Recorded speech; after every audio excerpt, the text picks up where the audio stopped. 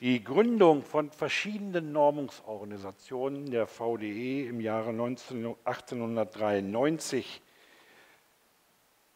war notwendig, weil die Unternehmen, die in dem Bereich tätig waren, gesagt haben, der Strom ist sowas Gefährliches.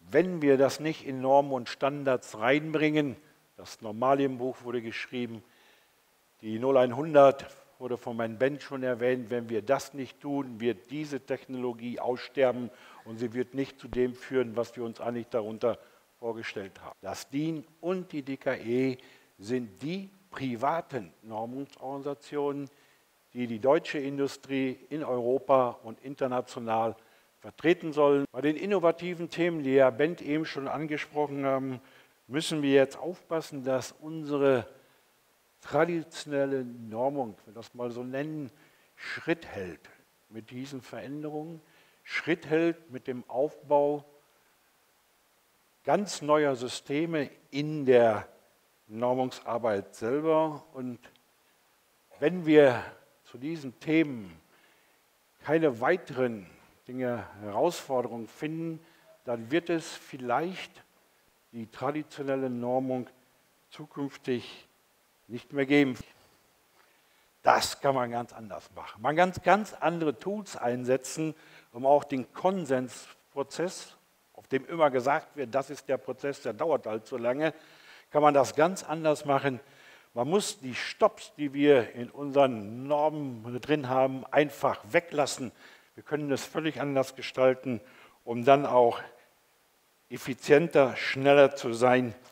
Und man muss natürlich dabei auch dann die Frage stellen, brauchen wir die Struktur, wie wir sie heute haben, mit den unterschiedlichen technischen Komitees zu den einzelnen Produkten überhaupt noch? Agile Standardisierung hat der Band auch schon gesagt. Das sind Dinge, die wir machen müssen. Zukunft hat Vergangenheit. Herr Teigler, Sie sind für die Zukunft zuständig. Dankeschön fürs Zuhören ich möchte mal wagen zu behaupten, das waren alles inkrementelle Veränderungen. Stufe für Stufe, es wurden Dinge erfunden und die wurden sukzessive optimiert und verbessert. Wir werden Konkurrenz bekommen. Wir haben aktuell Fälle in Israel, ähm, wo die Gesetzgebung ganz klar sagt, naja, Normen, die sind ja von der Öffentlichkeit erarbeitet, also gehören sie auch der Öffentlichkeit, gebt sie frei.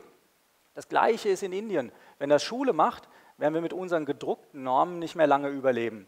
Wir müssen uns was anderes überlegen. Wir müssen, wir müssen hin zur Intelligenz. Normung 2020. Unser Programm soll Antworten geben auf all diese Fragen hier, die sich auftun, auf Dienstleistungsangebote, Bezahlsysteme, Produktlebenszyklen, branchenübergreifende Normen und individualisierte Normen.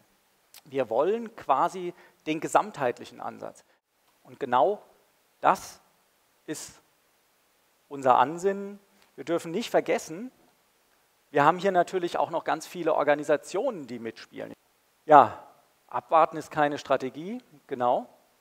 Wir haben am 13. Februar diesen Jahres den Prozess gestartet, Normung 2020. Wir hatten eine Kickoff-Veranstaltung in der DKE, um von dem jetzigen Status in den künftigen Status zu wechseln. Und wie Sie sehen, der Fluss ist nicht immer ruhig, da gibt es ein paar Stromschnellen, da kommen ein paar kleine Nebenflüsse dazu, Zen und Zenelec müssen wir mitnehmen, IEC, wir haben auch ein paar Steine im Weg. Ich hoffe, ich habe Ihnen einigermaßen guten Überblick gegeben über das, was vor uns liegt. Ähm, sofern Sie Fragen haben, jederzeit gerne, auch in der Mittagspause. Ich freue mich über jede Diskussion, über jede Anregung und sage vielen Dank.